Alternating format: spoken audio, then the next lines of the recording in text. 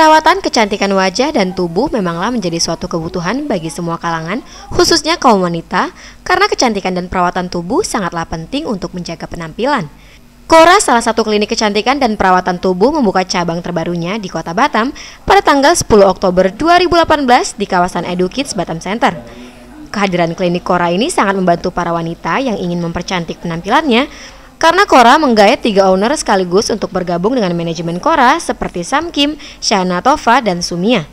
Pada grand opening Kora kali ini, pihak manajemen Kora memberikan promo menarik untuk seluruh masyarakat Batam selama dalam tujuh hari ke depan. Tujuan kami hadir di Kota Batam adalah memberikan pelayanan terbaik serta berkualitas.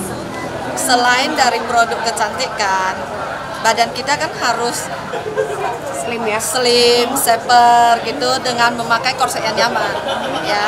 Dan kita ada estetik ya yang bisa membuat muka lebih instan langsung kayak botox, filler, treatment-treatment dan lainnya.